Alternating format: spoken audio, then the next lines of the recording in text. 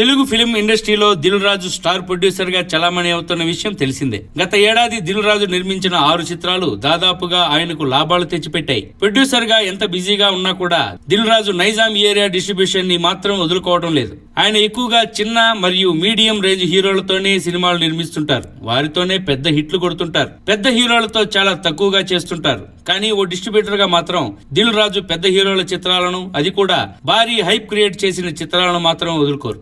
దిల్రాజుకి నమ్మకం కలగాలే కానీ ఎంత పెద్ద చిత్రమైనా నైజాం ఏరియా హక్కుల్ని సొంతం చేసుకుంటారు. గత ఏడాది భారీ చిత్రాలైన మహేష్ స్పైడర్ ఎన్టీఆర్ జై లవకుశ ఈ సంక్రాంతికి వచ్చిన పవన్ అజ్ఞాతవాసి చిత్రాలకు దిల్ రాజే నైజాం ఏరియా డిస్ట్రిబ్యూటర్. అయితే జై లవకుశ చిత్రం హిట్ టాక్ తెచ్చుకున్న దిల్ రాజుకు లాస్ మాత్రం తప్పలేదు. ఓ మూడు కోట్ల వరకు నైజాం లో దిల్ రాజు ఈ చిత్రం వలన నష్టపోయారు. ఇక మహేష్ బాబు స్పైడర్ చిత్రం అయితే దిల్ రాజుకు పది కోట్లకు పైగానే నష్టాన్ని మిగిల్చినట్టు తెలుస్తోంది. ఈ విషయాన్ని ఆయన పబ్లిక్ గానే ఒప్పుకున్నారు. తాజాగా పవన్ కళ్యాణ్ అజ్ఞాతవాసి చిత్రాన్ని ముప్పై కోట్ల భారీ మొత్తం వెచ్చించి దిల్ రాజు పది నుంచి పదిహేను కోట్ల వరకు నష్టపోక తప్పదని ట్రేడ్ విశ్లేషకులు అంచనా. ఈ నష్టాలతో ఆయన డిస్ట్రిబ్యూషన్ కంటిన్యూ చేస్తారా? లేక సైలెంట్ అవుతారా? అని ట్రేడ్ పండితుల అనుమానం. దిల్ రాజు స్పందనపై మీ అభిప్రాయాన్ని తెలియజేయండి కామెంట్ చేయండి షేర్ చేయండి. సబ్స్క్రైబ్ చేయడం మాత్రం మర్చిపోకండి.